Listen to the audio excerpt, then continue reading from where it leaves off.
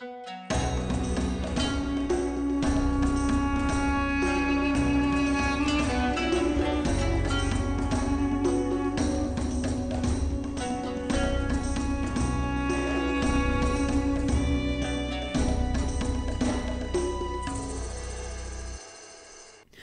Hey readers, this is Liz Davidson from Beyond Solitaire Books, and today I wanted to make a video about one of my favorite topics, which is classical literature. So I was a classics major, I now teach Latin, and Latin and Greek literature have brought me so much joy in my life, but sometimes it can be a little bit inaccessible to people who aren't in college taking classes about Greek and Roman history or language. So I thought what I would do for this video today is collect five pieces of classical literature that I think are relatively accessible and that would be enjoyable for somebody just reading stuff on their own. One of the big considerations that went into this is that while I love a very wide range of Greek and Latin literature for historical purposes, I try to choose things that are actually just straight up entertaining so that if you're just reading something for the fun of it, you actually get to have some fun.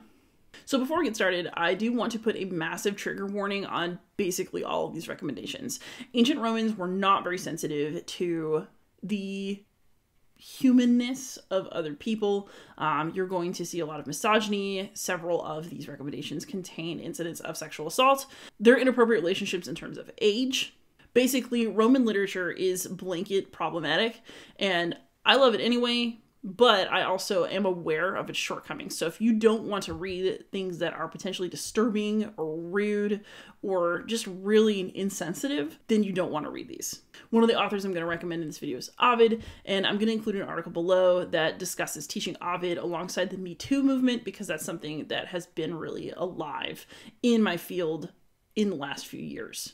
But yes, you've been warned. That said, I absolutely love this literature. I also wanted to recommend things that were not the Iliad or the Odyssey or Oedipus Rex because those are all great and I highly recommend that you read them. I'm a huge fan of Homer.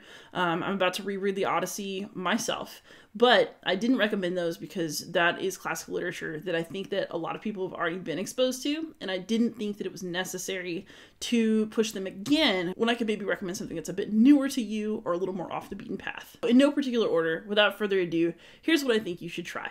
First up, we have the poems of Catullus. So, Catullus is commonly assigned in upper level Latin classes in high school because he talks about a lot of themes that are understandable and fun and enjoyable for really anyone. And so, he's his Latin is good to give to students, but also the topics are really good. So, if you read the poems of Catullus, some of them are absolutely filthy and we cannot discuss them in polite company, while many of them center on Catullus's relationship with Lesbia, who is a married woman who's not actually named Lesbia, and he is having a torrid affair with her. And so he's kind of like an ancient Taylor Swift. He's writing about his breakups and his moments of love, and this kind of emotional poetry is new to Latin literature with Catullus. So, if you want to read about bad breakups, poignant poems about the death of a brother, kind of rude and silly poems about going to parties or having rivalries with other men, Catullus is the one for you. The poems are short, they are punchy, and very often they are good for a laugh.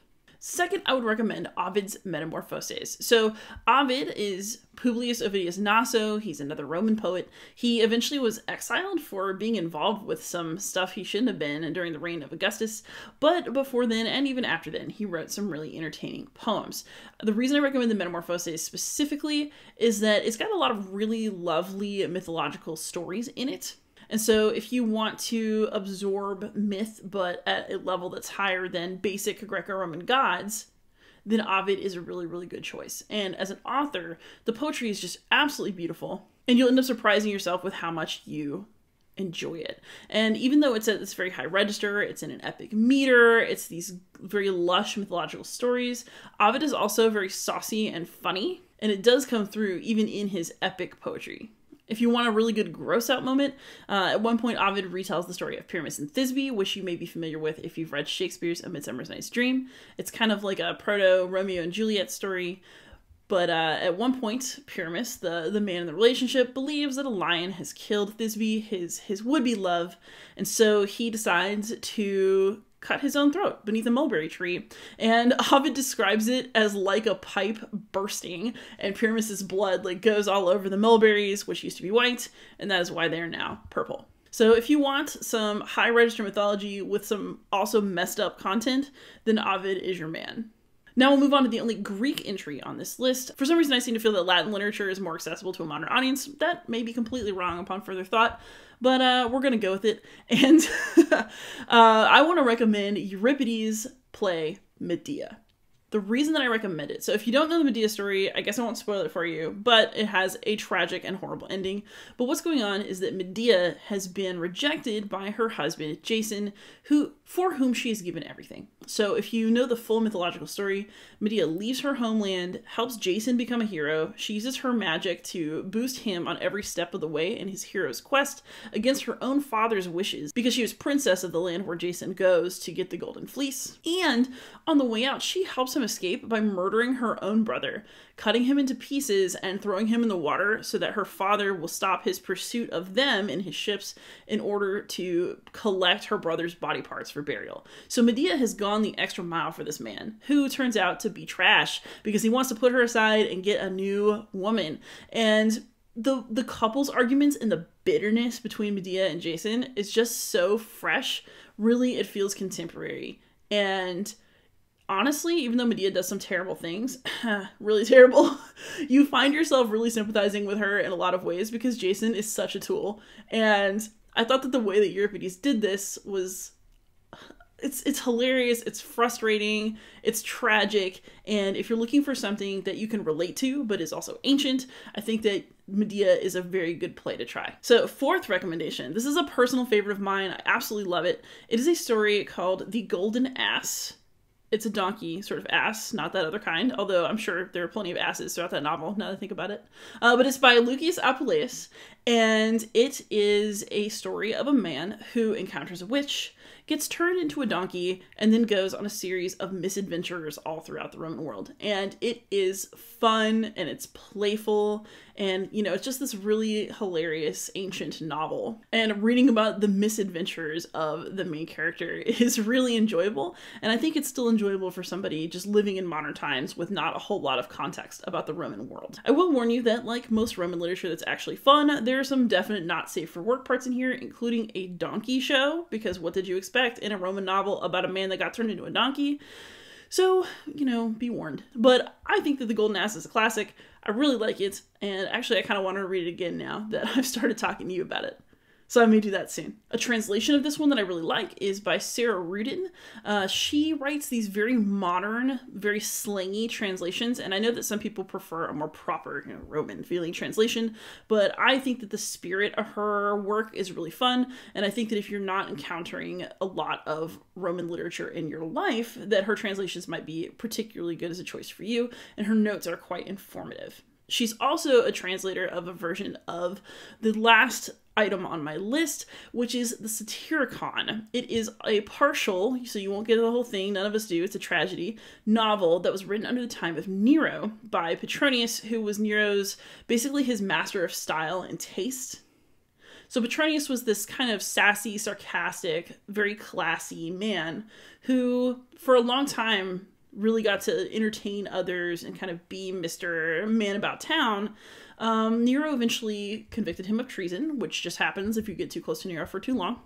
And so what Petronius did was instead of go out sad and you know, let Nero execute him, he decided to go out with a bang. And so he basically slit his wrists, but he rebound them so he would slowly bleed out through the night he had an epic party where he said goodbye to everybody. He ate and drank a lot. He gave lavish gifts, told people off that he didn't care about anymore, and then he went to sleep and died. Also, unlike lots of people of the time, Petronius absolutely refused to suck up to Nero in his will and instead revealed how awful he was. And you know, mad respect for Petronius.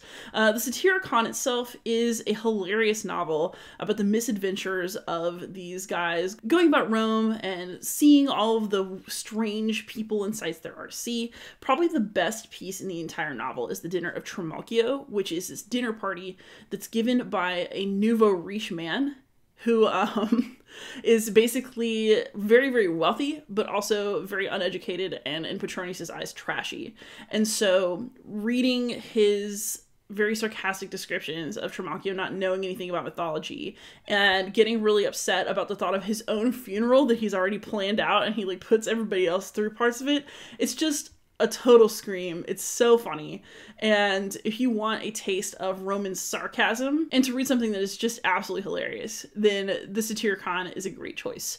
I will warn you that it also has some parts that are very odd. Um, there are eunuchs, and one of the main characters has a distinctly underage boyfriend because in ancient Rome that was not considered as offensive as it is now. So, massive trigger warnings for this one, maybe even more than for a lot of the other ones. But if you want to read something short and funny and rude and Roman, then the Satyricon is a fantastic choice. So, those are five recommendations that I would make of classical literature that is accessible and fun to read while still giving you some of that good ancient society flavor.